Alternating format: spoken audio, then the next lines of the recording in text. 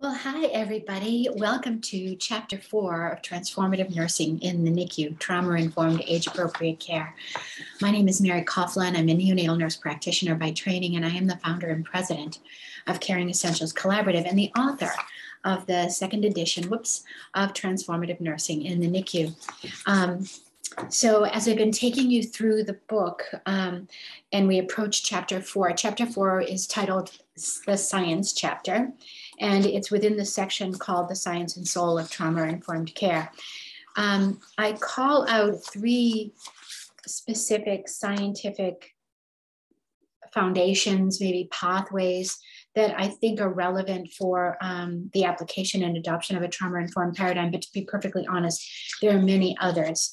Um, I in the first edition, I introduced a polyvagal theory as a very important scientific um, process and, and theoretical construct that helps us really understand the implications of trauma on the mental and physical health of these developing individuals and and all of us you know if you started out as a baby it's probably applicable um, and i've been kind of hemming and hawing before i logged on to see how do i want to proceed with this chapter because of course you know people are always publishing newer, cooler stuff, you know, more um, expansive, more comprehensive, more detail.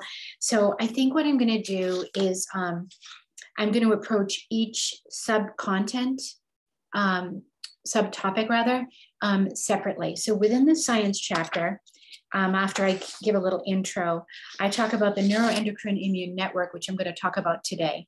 And then tomorrow, we're going to talk about epigenetics and early life adversity, and then follow up on Monday with the energy costs of traumatic stress in the NICU. And that's when we dive into mitochondrial stuff, which is really cool and interesting. Um, it, and I hope that feels okay to you guys. Um, please share your feedback. Is this relevant? Is this helpful? Are these too long? Are they too short? You know, what would you like? Do you want PowerPoint slides? You know, just, you know, please let's, you know, co-create some, you know, learning experiences that are really valuable for you, that are really helping you embrace this material. So um, as I have mentioned in the previous chapters, I like to open up the chapter and often close the chapter with a quote. The chapter that um, the quote that opens up this chapter is from the brilliant and only one and only Albert Einstein. And here's the quote. Anyone who thinks science is trying to make human life easier or more pleasant, it is utterly mistaken. Um, and I, I, I have to smile when I read that quote, you know, um, because I think we don't know what we don't know. And the more we dig into the science, the more we discover and we discover that there's more that we don't know and we deep, you know, dive in and dig deeper. And it's wonderful and it's fun and it's exciting and it's exhilarating. Um, but I think we also, just as this section um, speaks to, is balance that science with the soul dimensions, with the existential dimensions, the spiritual dimensions, and that sort of thing. And so, and we know that that's what um, Albert Einstein did, right? He balanced both the science and the soul of his work. So I'm going to, you know, just get really into the nitty gritty of the science um, for right now. And then maybe what we'll do at the end of this chapter, you know, maybe on Tuesday, we'll just kind of summarize and integrate. Yeah, let's do that. We'll summarize and integrate the information that I've shared with you um, because it's it's ever unfolding. And so the way I open up this chapter is really to just kind of, again, p- continue to position the relevance of a trauma informed paradigm. And, and I believe very, very steadfastly that understanding the biological processes associated with early life adversity is a first step in changing the paradigm. And I want to bring your attention to this really great paper. It was um, published in 2019 by Agorastos et al. And it was, uh, and it basically developed this, um, he and his team developed this kind of a conceptual model. And I'm just flipping over here so I can get to the, his paper. Um, I, I, think I'm gonna I'm gonna try and actually share with you the graphic if I can make this big enough for you guys because he just did such a brilliant job, and you can see in the in the graphic that there is so much more to um, the science than what I'm presenting kind of in a condensed way in the um, in this chapter. So let me just scroll to the image and then we'll do the, sh the share, the screen share. Oh yeah, here it is. You're gonna love this. Okay, and I think I might have mentioned this before, but if not, um, it's all good. I'm mentioning it now, right? Um, all right, so here we go. Acrobat Adobe share. All right, so um, here's the paper. It's in neurobi it's called um, Neurobiological Trajectories of Early Life Stress. And he put together this really cool graphic conceptual model on the developmental trajectories of early life stress. Um, in a schematic model of moderating factors and allostatic um, processes involved in early life stress and um, childhood trauma. That's what ELS, early life stress, CT, childhood trauma. And so, you know, from a, a NICU perspective, a neonatal um, clinician perspective, you can see here at the top, um, and I present this in the book, um, hit one, right? So, you know, how we come into this world, like literally, um, sets the stage for how the rest of our bio biology is going to cascade um, afterwards and how we will either be vulnerable or resilient to different experiences and events in our lives. So we have that genetic epigenetic susceptibility. And I'll be talking about the epigenetics tomorrow, but just, you know, put that out there, right? So there, and you know, there is, there are many um, epigenetic and genetic predispositions to disease. Um, so that's kind of laying in the wings, if you will. And then there's the fetal um, programming, the prenatal stresses. What's the maternal um, health and wellness? What's uh, from a a physical perspective, but also from a psychological perspective. We know that um, mothers that endure um, toxic stress, domestic violence, um, have history, uh, history of collective trauma, intergenerational trauma, poverty, all of those things have now kind of wired her biology, and that this new developing human is evolving in that setting, right, in that milieu. So that's also you know, kind of setting the stage for this individual's ability to adapt, respond, um, you know, adapt to, I think I've ever said that, um, to whatever comes their way. Um, then you get that first, that next hit. It's not the first hit because they say that that first top line is the first hit, the early life stress. And so for me, that orange bar, that's the NICU, right? And so the impact of the experiences at that at that initial level um, are contingent on a lot of different variables, right? The timing, the developmental stage. Where are you on that um, gestational continuum, right? The more immature you are, the more vulnerable and susceptible you are to these traumatic exposures, these traumatic experiences. The intensity, the frequency, the duration of the experience. Um, these other two categories, you know, role and the type of um, early life stress. I don't think that they're necessarily um, implicated when I'm talking about the NICU, but they could be, you know. So it's important for us to understand this. And there's lots of really great papers, and, and these guys talk about it as well. Um, about that idea of critical and sensitive periods or windows for development, right? That things are supposed to happen this way during this time period. And if those things don't happen, those neural networks, they just dissipate and go away right? Um, those experience expectant neural networks. So it's important for us to understand that. You know, a healthy human newborn is not anticipating is not wired to expect pain they're wired to expect loving kindness cuddles kisses and all that kind of you know social relational um, experiences and so pain separation sleep fragmentation, all of those things are unexpected. And so what happens is the brain has to adapt. And so it's important for us to understand that.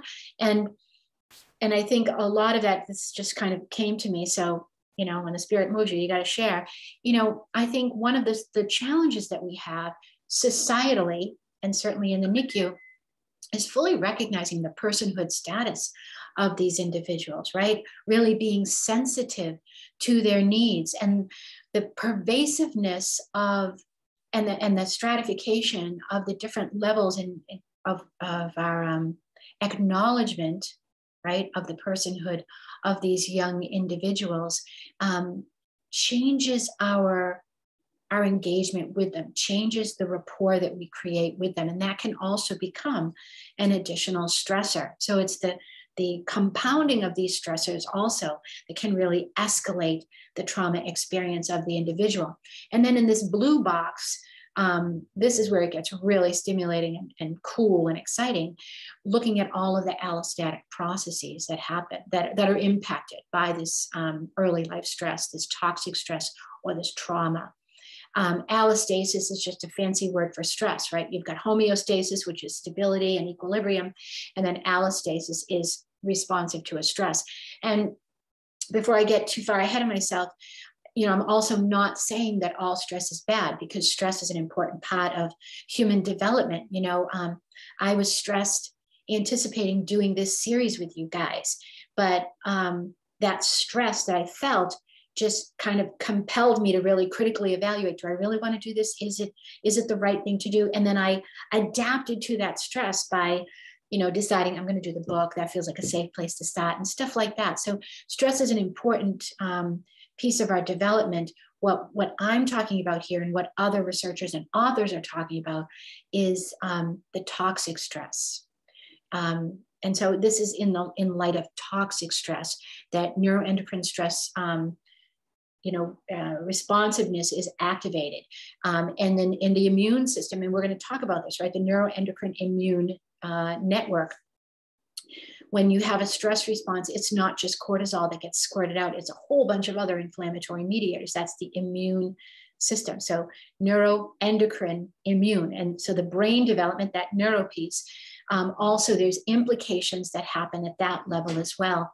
And um, I just recently shared an article um, on my uh, 12 days of articles in review that talks about um, how that stress really um, creates these well, exacerbates these watershed areas in the brain um, because of you know redirecting of blood flow and that sort of thing in response to a stress response right? Um, that different parts of the brain are more vulnerable to these alterations in perfusion. So under again understanding the magnitude of this um, it just it just goes so deep um, the epigenetic programming and the transcriptome gene expression. And I'm going to dive again more deeply into that tomorrow. I just came across a really interesting article that's now looking at DNA methylation um, associated with necrotizing enterocolitis, right? So they're finding these methylated um, transcriptors or uh, uh, transcription genes, um, and these individuals go on, you know, are go on to have NEC, necrotizing enterocolitis. So we're learning more and more about how all of this experience is playing out physiologically, emotionally, psychologically in these vulnerable human beings. Sleep and circadian rhythm is disrupted as a consequence of stress. Um, you know, when you have, not that all, all stress is not pain, do I have that? Yeah, but all pain is stress. And that experience of stress slash pain actually can disrupt your sleep. Think about yourself, right? When you're freaking out about, I don't know, short being short staffed or paying the bills or uh, studying for the exam, right? You don't really sleep very well.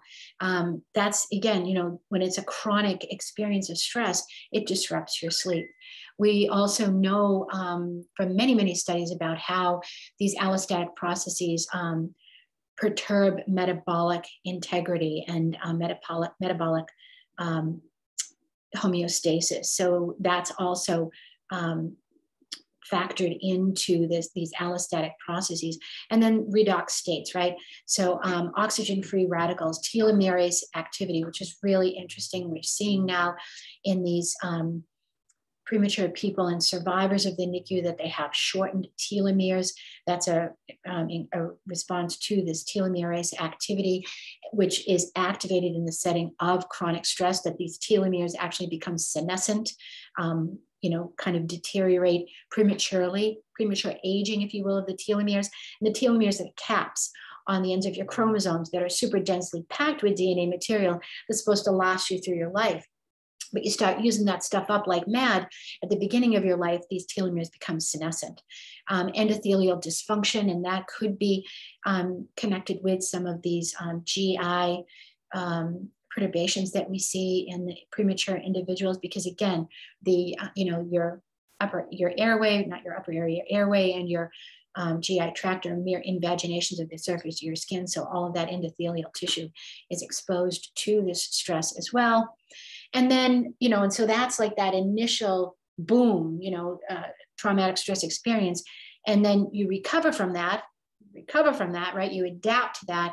Um, but it's not like that's the end of it. Okay, you're all done. No more stress in your life because who was expecting, you know, the, the stress and the trauma and the toxic stress associated with the COVID 19 global pandemic, right? There's lifelong things that come along and hit you up the broadside.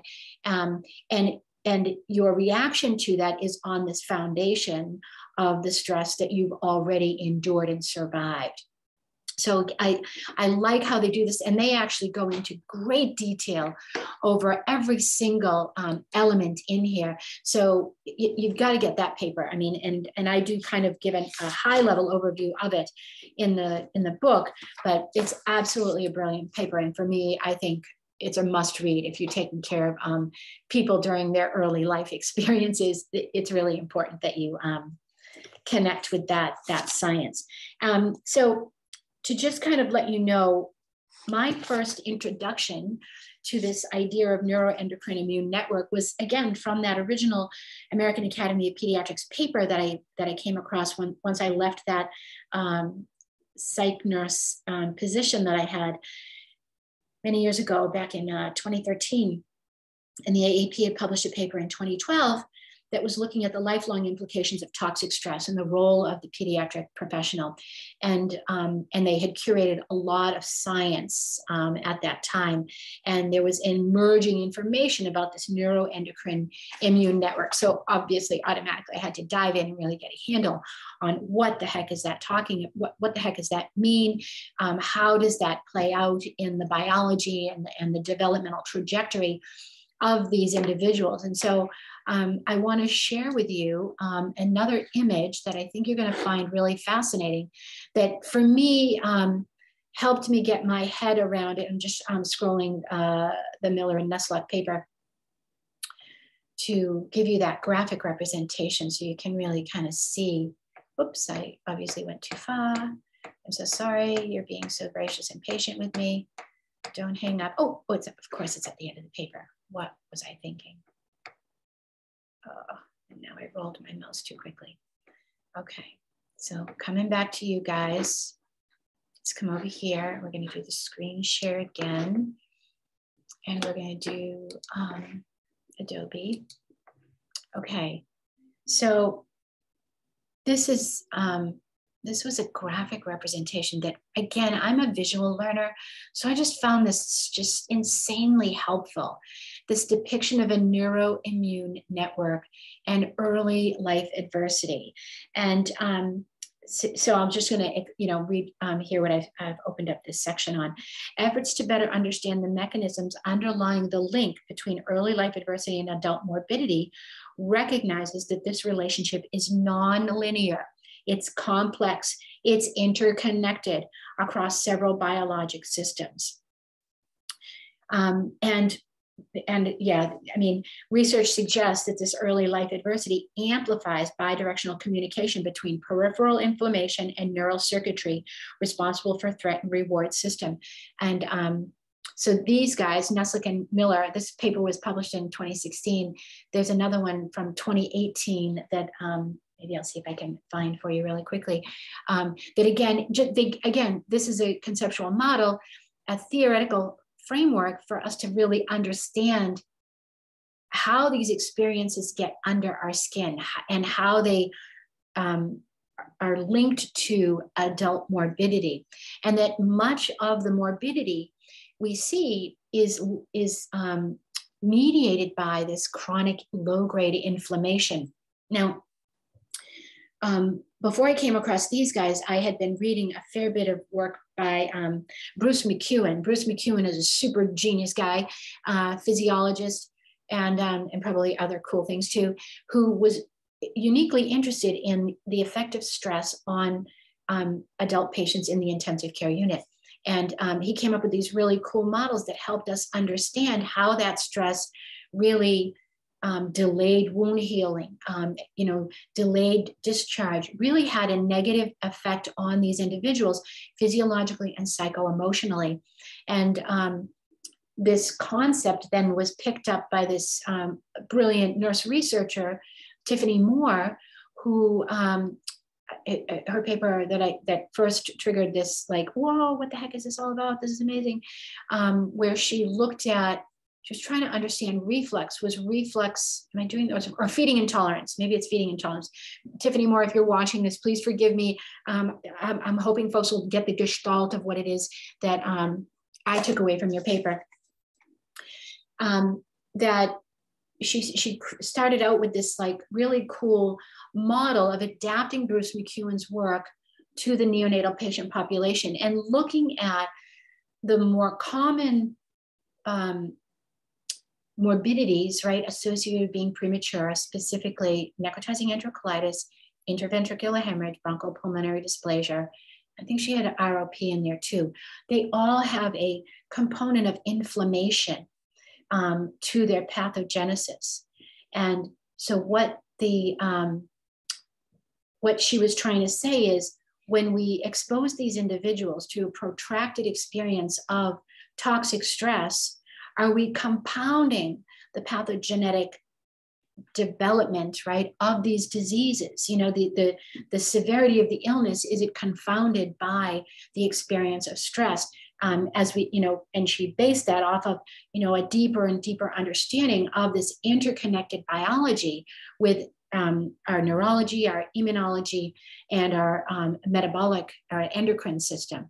So it just really, really fascinating. And I found that um, understanding this is really, really helpful for us as NICU clinicians because we can then see, okay, these situations are stressful, they're activating a toxic stress response. I understand what happens when that cascade is initiated, that all of these things get played into motion and it sets up this chronic um, inflammatory process, this chronic state of stress that is a precursor to the adult morbidity and, and of course, short term morbidity too, right? It's not just like, oh you're fine until you turn into a grown up and then you're messed up no it's it's ongoing evolutionary um, disruptions of the developmental trajectory of this individual and so understanding this at least from my perspective just makes sense um, that if I understand that that's what's happening, and I think you're going to find the same thing when you start to see what happens epigenetically to these individuals in the setting of toxic stress,